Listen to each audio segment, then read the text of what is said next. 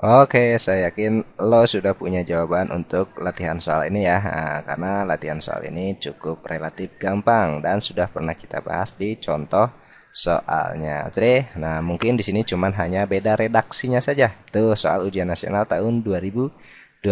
Ada rangkaian RLC disusun seperti gambar gelombang sinus yang dihasilkan ketika uh, XL-nya lebih besar dari XC. Nah, itu di situlah kata kuncinya atau redaksi yang dibeda-bedainya. Artinya, nah, kamu atau lo kudu udah ngerti ini ketika XL-nya lebih gede daripada M3.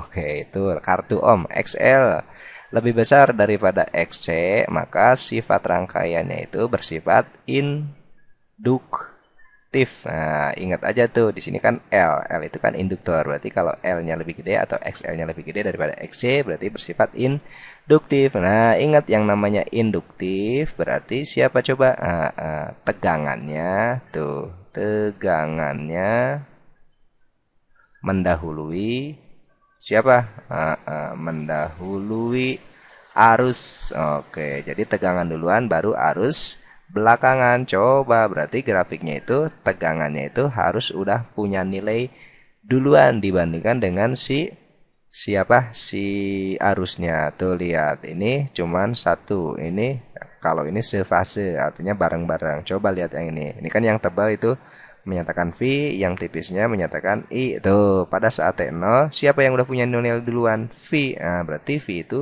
duluan baru arus belakangan. Berarti jawaban untuk soal yang ini yang C. Oke, gampang sekali kan? Ya udah Om Bejo tambahin. Kalau misalkan XC, nah sekarang XC-nya nih yang lebih besar daripada XL. Nah, berarti rangkaiannya itu bersifat kapasitif. Oke, oke, kapasitif tuh C kapasitif. Oke, ini gampang banget nih. Artinya ntar arus justru sekarang yang duluan nah, dibandingkan dengan tegangan. Kenapa Om arus? Gampangnya yang namanya kapasitif itu kan buat menyimpan muatan gitu kan ya, betul? Nah, uh, kapasitor gitu kan ya. Artinya buat menyimpan muatan, berarti muatan itu ada hubungannya dengan arus. Berarti kapasitif berarti arus yang duluan dibandingkan dengan V. Oke.